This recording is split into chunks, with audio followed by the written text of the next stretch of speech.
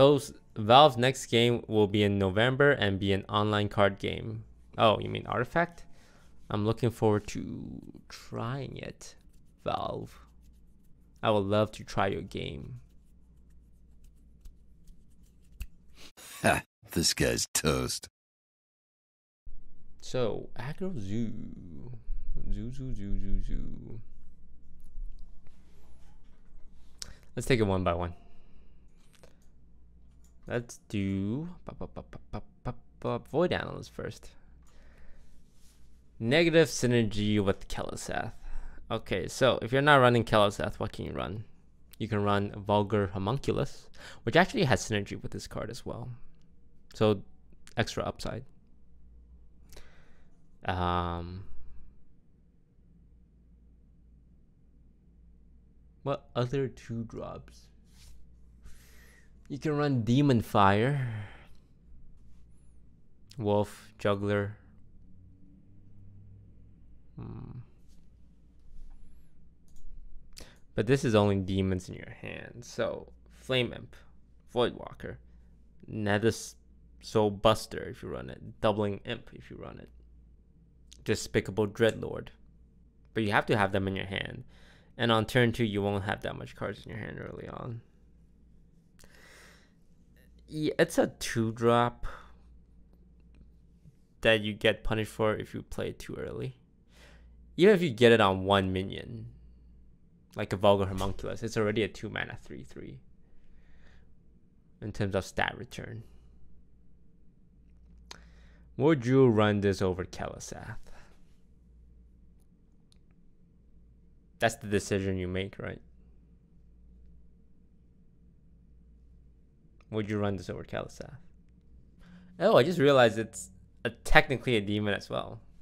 Huh. Doesn't look like a demon.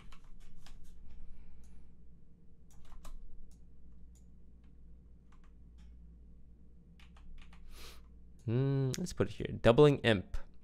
3 mana 2 2 Battlecry summon a copy of this minion. 3 mana 4 4 worth of stats. Is a demon.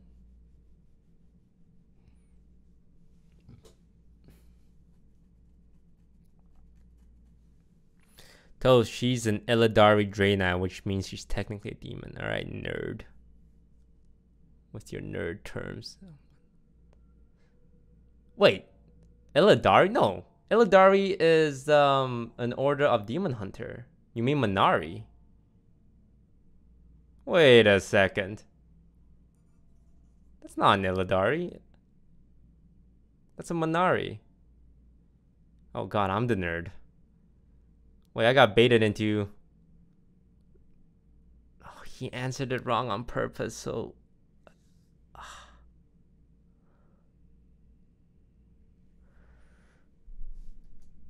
Anywho. Uh, I like it. Three mana, four four worth of stats across two bodies. Demon synergy.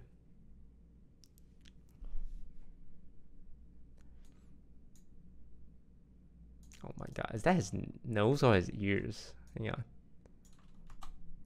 Wait, that's his nose. That's a giant ass nose.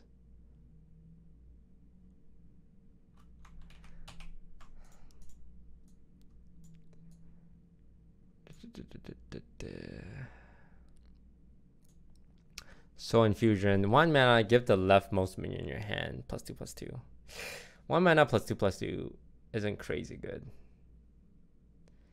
It's great if you hit Saronite Chain Gang or Doubling Imp. Which you would probably run in Zoo. But it's the leftmost minion. Hmm. Omega Agent's another tough one.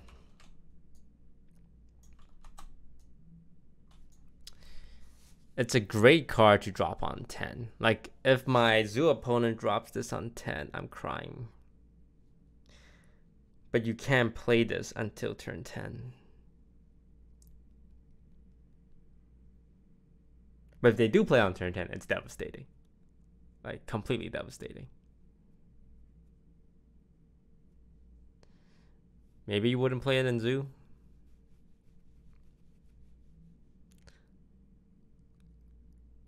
Because if you're playing this in Zoo, you have to hope you top deck it at turn 10. Or else it's just going to sit in your hand as a 5 and a 4 5 for a long time. It's great with Soul Infusion. But I think even without Soul Infusion, it's already really nice.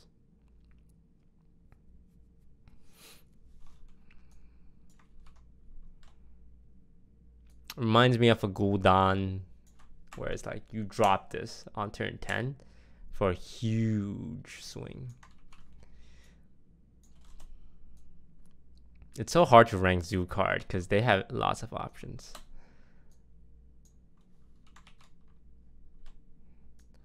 Nethersoul Buster. 3 mana, 1 5 battle cry. Gain plus 1 attack for each damage your hero has taken this turn. That's a demon. Stat line 1 mana, 1 3 mana, 1 5 is okay, but you want at least 2 attack on it.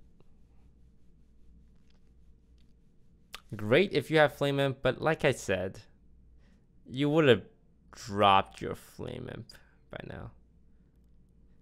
Is this card art a reference to Ghostbuster? His name is Buster and he's holding a laser zapping machine and holding it like they do in Ghostbuster. That can't be a coincidence.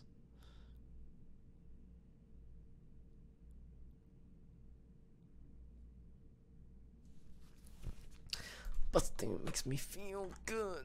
Mm.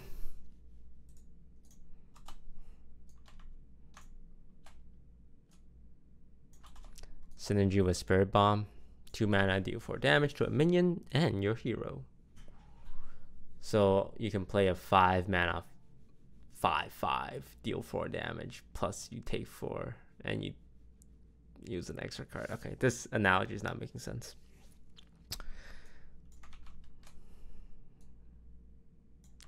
So for 1 mana less compared to Shadow Bolt, you pay for health that's a big payment, even if it is to activate your Amethyst Spellstone.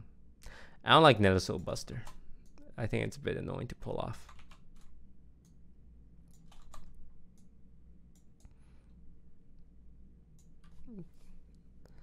Spirit Bomb, 4 damage for 2 mana is a huge tempo swing.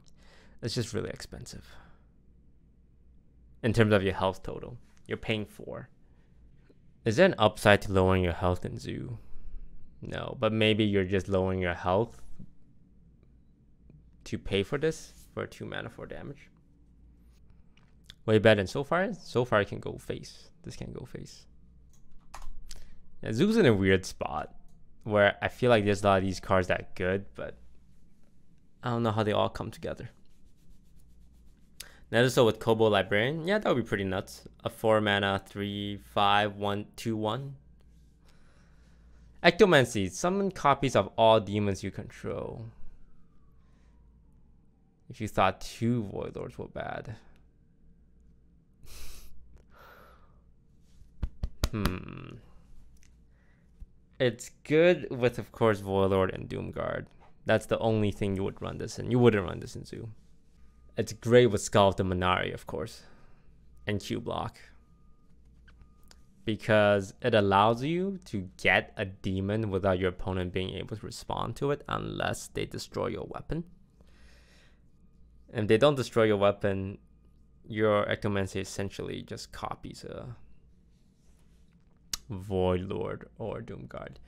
I feel like you would rather just play Faceless Manipulator though. Yeah, people already run two copies of Faceless Manipulator and Cubelock. And I feel like this achieved the exact same thing. Yeah. No, I don't like it. I feel like Faceless Manipulator is straight up better and yeah, I think I think it's just straight up better. And you can Faceless Manipulator cubes, which is a big deal, and your opponent's card, which is another big deal. So, in my opinion, any case where I would play this, I would play faceless manipulator instead.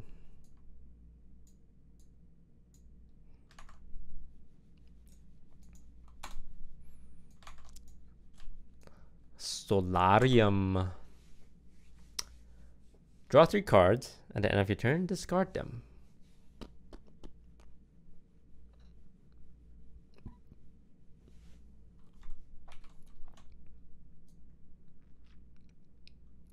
Good refill.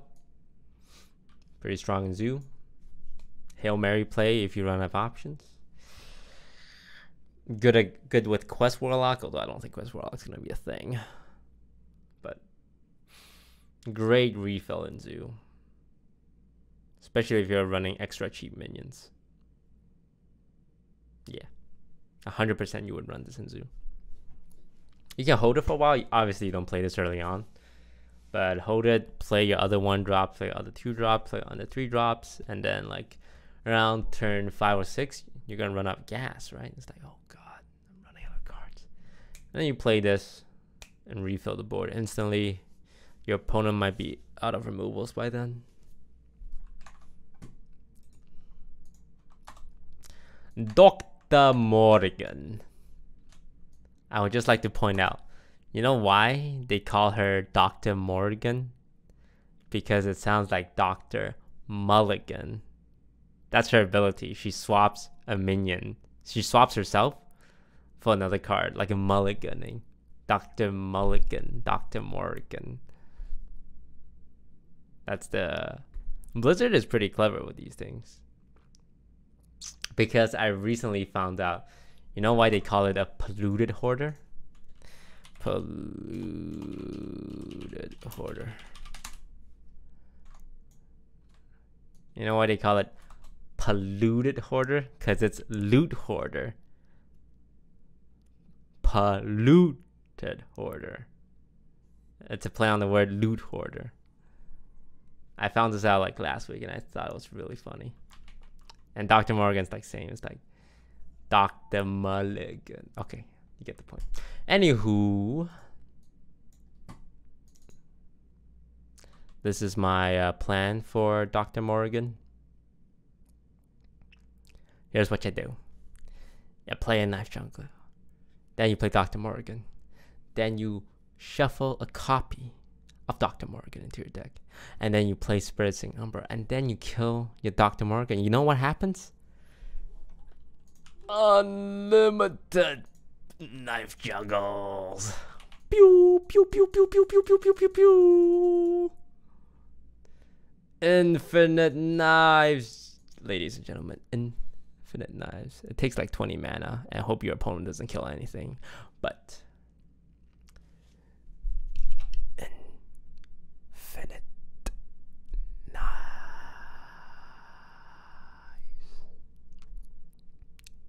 The new OTK deck featuring five cards. Oh, technically four. Easy. What's the best thing? They're all even. So you can tap for one mana. You just tap. And you tap. And you tap. And you tap and you tap and you tap and you tap and you tap and you tap. All for the low, low cost of one mana, which means you'll draw your combo much, much faster.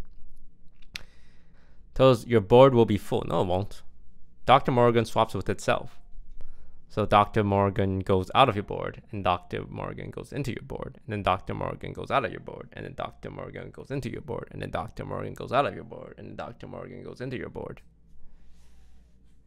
Tells you need to draw the whole deck first. That's not true you just run these minions. And you just need to draw the minions first.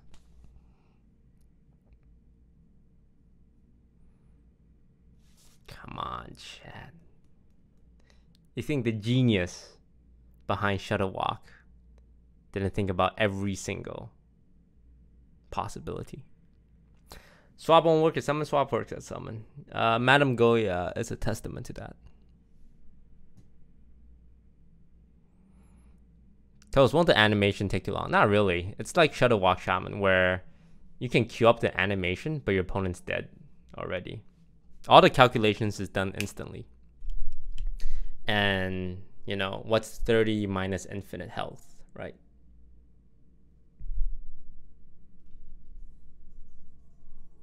It's negative infinite.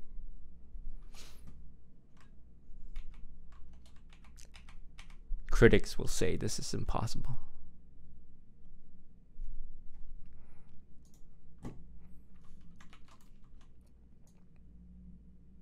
Oh yeah, this card sucks by the way. Toes, they'll have some hard limit. I don't think they need it because technically it will end at some point. Unlike Defile, Defile has the potential to never end, but Infinite Knife Juggler,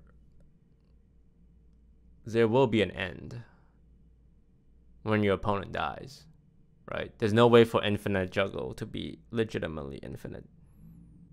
Ooh, Ice Block. Well, I mean, if it's Ice Block, then your opponent just won't be a valid target for Knife Juggler, right? Guess we'll find out day one. Good luck, Blizzard server. Good luck. So, Warlock. What's our feeling? Um, Zoo's gonna be popping. Soularium would definitely be a Zoo addition. The extra Zoo synergy card, like this, this, this, and this, and this, where it's like hand Zoo, hand buff Zoo. It's a bit more question mark. All right, last card, Demonic Pro Project. I like it to uh, disrupt combo. I'm glad cards like this exist because you play this against Shudderwock and suddenly, hey, guess who's not Shudderwocking? So I'm gonna rate this pretty high, not because it's huge, impactful, like you can just play it in any Zoo deck or Warlock deck, more because it's a combo killer, and we like combo killers. You pull this off against a Shudderwock, you just win, right? Similar to uh, Skulking Geist, but minion based. All right. That's Zoo for now. Warlock. Why do I keep calling Warlock Zoo? Maybe it's because all Warlocks will be Zoo.